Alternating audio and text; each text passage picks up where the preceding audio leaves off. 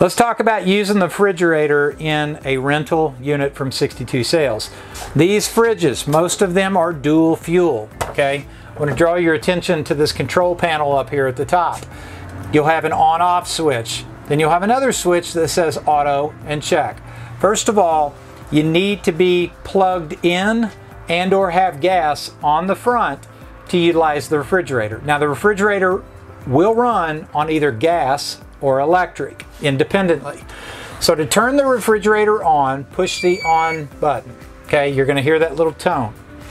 Now, you'll notice here, if the switch here or the button is out, it's running on gas.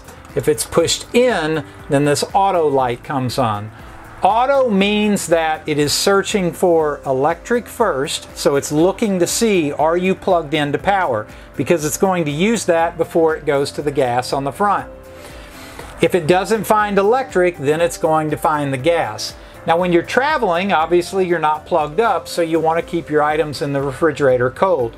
When you're traveling, my suggestion to you is probably keep it on the gas mode uh, or you can keep it on the auto, but the, the gas mode just ensures that everything is going to stay cold. Does take a while to cool these down. So if you know you're going camping, plug it in a few hours in advance.